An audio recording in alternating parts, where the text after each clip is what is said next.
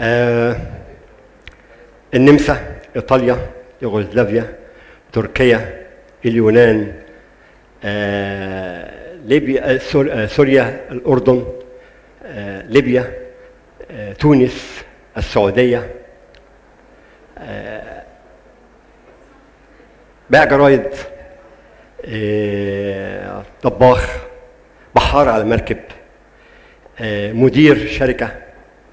مبيعات يعني في الشركة. آه، فني ديكور آه، مخلص جمركي.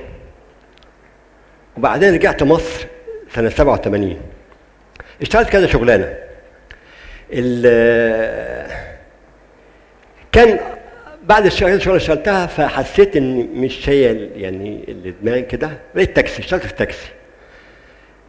التاكسي 25 سنة كنت مقدم برنامج. كنت أنا المذيع والزباين اللي عندي عبارة عن ضيوف كل يوم. الضيوف دي بتتغير من شخص لآخر بمختلف ثقافاتهم وعاداتهم وتقاليدهم في البسيط وفي المتعلم في الدكتور وفي المهندس. فلازم أكون على مستوى ال- الأشخاص ديت بالإطلاع والقراية. طبعا عشان بحب الكلام وخاصة المسافة والزمن فبحاول أكون إيه على مستوى الناس اللي بتركب معايا. إلى أن جه يوم آه كان الضيف أول ما ركب معايا كان استغرب من كلامي. راجل كبير في السن بيتكلم إنجليزي وبعدين بيتكلم في الميكروبولوجي وبيتكلم في الكراون فالشخص دوت استغرب يعني فسألني سؤال بيقول أنت خريج إيه؟ افتكرني بقى حاجة يعني قلت له University of Life جامعة الحياة فاستغرب يعني إن إيه كان الشخص دوت هو رنيم اللي هي. كتبت عني ال post على الفيس ومنها الناس اللي بتعرفني طبعا ال- الجامعة بتاعتي ال University of Life عبارة عن كمبيوتر متصل بالنت ومكتبة صغيرة المكتبة فيها مجموعة من الكتب لا بأس بها من تاريخ العلوم. واحسن حاجة بحبها التاريخ بس العلوم برضو وخلافه. ف مش إيه المانع إن يكون مثلا أعرف معلومة طبية؟ يعني مثلا الخلايا عدد الإنسان عدد الخلايا الموجودة بتاع الإنسان إيه؟ 60 ألف بليون خلية. وفي كل خلية فيها 200 صفحة. وكل صفحة فيها حبل طوله مترين. المترين دول اللي هو ال DNA. لو جمعت لحبل لبني آدم واحد ال DNA مع بعضه توصلوا مع بعضه بيعمل حبل طوله 300 مرة من هنا للشمس. المسافة من الأرض للشمس قد إيه؟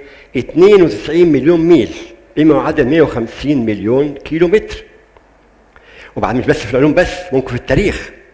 يعني أنا شخصيا من الشخصيات اللي الواحد بيعتز مثلا بقريتها آه، شخصية محمد علي. بدأت أنا بخ- بتاخد المنهج منهج التحليل في كل قراياتي إن كان تاريخ أو علوم. فمحمد علي قريت عنه لقيته إنه إيه عمل ثلاث ميزانيات لمصر. أول ميزانية فيها مليون ونص المنصرف مليون ونص. يعني ما عندكش عجز في ميزان المدفوعات تاني ميزانية اتعملت 2.5 مليون. المنصرف منها 2 مليون. فضل عندك إيه نص مليون في خزينة الدولة. يبقى المستوى بتاع الاقتصاد بتاعنا بدأ يرتفع. ثالث ميزانية 4.5 مليون. المنصرف 3.5 مليون. فضلك عندك مليون في خزينه الدولة أوفر بعد أكلك وشربك. ده الكلام ده مثلا من سنة 1845 وإيه المانع إن الواحد ما يبحث ويقرأ وفي كل الاتجاهات؟ ما يتخذش مثلا ال- ال- المنهج بتاعه منهج واحد. ليه ما يكونش مثلا الطبيب يقرا في تاريخ؟ ليه ما يكونش مثلا بتاع الأدب يتكلم مثلا في الطب؟ مش هعمل جراحيه بس على الأقل تبقى عارف معلومات عن اللي حواليك. وبعدين مثلا أنا بستنى التاكسي بتاعي في إيه؟ بقرأ حاجات وأقف فيها. بستنى الشخص اللي هو الفني في الشخص ده. فقابلني مرة واحد خريج علوم. فبيتكلم معايا على الكعكة الصفراء. وهو كان يعني إيه؟ خلاص قرب ينزل. فأنا حبيت إني مش عارف أقابله إمتى عشان أسأله على إيه هي الكعكة الصفراء. فروحت البيت دخلت عملت سيرش على الكمبيوتر على الكعكة الصفراء. فعرفت إن هو عبارة عن يورانيوم. بيفتفتوه بالطرد المركزي بيصعد تحت كعكه صفراء اللي هو اليورانيوم المخصب اللي هو بيستعملوا فيه أربع حاجات منها القنبله الذريه والعلاج. طبعا في أربع حاجات بس هو إيه يعني ليه الاعتبار يعني إيه الوقت اللي فاكر بيه يعني. وقريات متشعبة. ممكن اقرا هنا؟ أقرأ هنا أقرأ هنا. واستغل التكست في إيه؟ في المعرفة والزيادة والزيادة.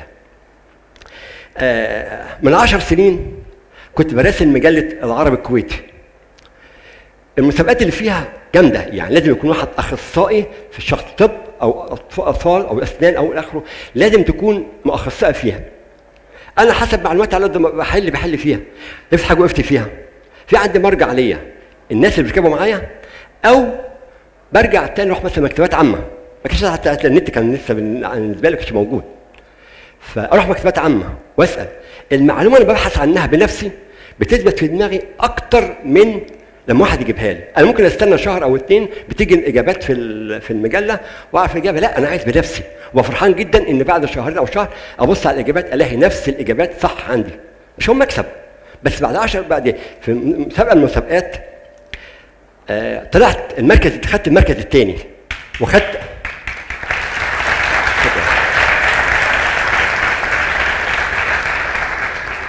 طلعت المركز الثاني وخدت 1500 جنيه. جبت ثلاث أعداد من المجلة وصورت الشيك كذا صورة. حاسس ان إيه أنا كل اللي بعمله إيه ولادي وأولاد أولادي كانوا ولاد صغيرين. إن لما يكبروا يعرفوا إن القراية حاجة كبيرة جدا جدا. ويفضلوا انهم يقروا. زي ما جدهم كان بيقرأ أو زي ما ابوهم كان بيقرأ يحاولوا إن هم يقروا. وبقول حتى للشباب ليه الشباب ما يقروش؟ مكتبات عامة. مثلا طلبة في الجامعة عندكم أكبر مكتبات موجودة عندكم. وغير كده المرجع ليكم. أنا بدور على مرجع عشان يعني أدور على سؤال إجابته إيه. فانتوا عندكم ممكن مدير معيد دكتور ممكن تسالوه من هنا هتبدأوا تعرفوا المعلومة أكتر مني وأكتر من أي حد تاني. وسريعة. ونفس التخصص بتاعكم. ومحتفظ وقت النهارده بالحاجات ديت عشان ولادي يعرفوا أنا توصلت لإيه. بوجودي هنا معاكم يعني يسعدني إني أفاجئ بنتي وعلى مسرح تيدكس وأبشركم وتشاركوني فيه إن إن شاء الله هقدم أنا وبنتي في جامعة مفتوحة قسم إعلام إن شاء الله. شكرا. شكرا. شكرا. شكرا أقول لك ياسو أو ويدرزين آه جودن ابند آه arrivederci السلام ورحمة الله وبركاته. أروح